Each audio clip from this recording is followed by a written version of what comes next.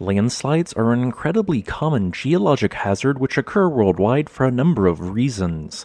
They can occur in response to earthquakes, heavy rainfall, and even volcanic activity. For example, in 1772 at the Papandayan volcano in Indonesia, 140 million cubic meters of rock slid up to 13.5 kilometers distant in response to a phreatic eruption. While the landslides shown so far have all been fairly large, they represent merely a fraction of the size of one of the planet's largest non-submarine landslides. Within Utah is a massive complex of what was originally thought to be a series of ancient landslide deposits. However, this area seemingly contained a highly unusual rock type called pseudotachylyte. Pseudotachylyte is a rock type often associated with incredibly voluminous landslide events that create so much friction that they melt some of the involved rock. Due to the appearance of this rock and the mysterious landforms in the area, it soon became clear that the area did not contain numerous landslides but rather one supermassive landslide. Known as the Markagunt megaslide, this ancient landslide covered an area of 1,390 square miles or 3,600 square kilometers, which is slightly larger than the entire state of Rhode Island. However, this megaslide was not a completely isolated event. To the east and west are two other megaslides which also formed between 18 and 25 million years ago. Of these three, the Markagunt slide is by far the most voluminous as it involved 2,000 cubic kilometers of rock.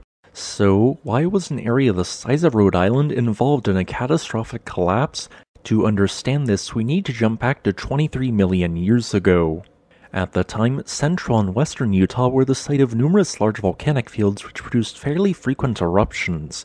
One of these volcanic fields was known as the Marysvale Volcanic Field, containing cinder cones, lava domes, stratovolcanoes, and large calderas. In a manner of speaking, the area was somewhat similar to the modern Newberry volcano and its surroundings in Oregon. As time progressed and eruptions continued throughout the volcanic field, a specific area began to be the site of highly focused activity. This resulted in the creation of either a towering lava dome complex or a stratovolcano. Magma slowly built up underneath this volcano until a magma chamber with a volume of more than 100 cubic kilometers was present. Eventually, the pressure underlying the volcano became too great and a catastrophic volcanic eruption was triggered. Due to the massive amount of erupted material, the underlying magma chamber was greatly drained. This caused the ground overlying it to collapse downwards, forming the massive Big John caldera, which may have at one point looked similar to the caldera seen at Aniakchak in Alaska, albeit with less snow cover. In the millions of years following this eruption, the large silica-rich volcanic center which resulted in the Big John caldera moved northwards. It then slowly began building a new volcanic center called Mount Belknap.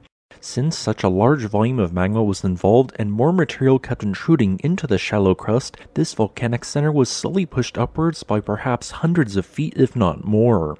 This caused the structural stability of the prior largely basaltic lava fields which acted as a sort of homogeneous layer to be placed on a significant tilt. Eventually, this tilt became too great and a large section of the uplifted older lava field collapsed to the south in an enormous landslide. This landslide soon propagated to take adjacent rock with it, eventually cascading to include 2,000 cubic kilometers of rock. Racing southwards at a speed of several hundred miles per hour, the landslide raced over mountains and natural topographic highs, forming fold-like features which are in reality large tilted blocks. By the time the landslide had settled, some material had traveled well beyond 40 miles distant. Although this landslide was truly massive, it was still smaller than the Nuuanu slide around 1.3 million years ago when the northern half of the island of Oahu collapsed, transporting 5,000 cubic kilometers of rock. Thanks for watching. If you would like to request a specific topic, please leave a comment below. Additionally, I would like to thank my new patron Craig Talbert for supporting this channel.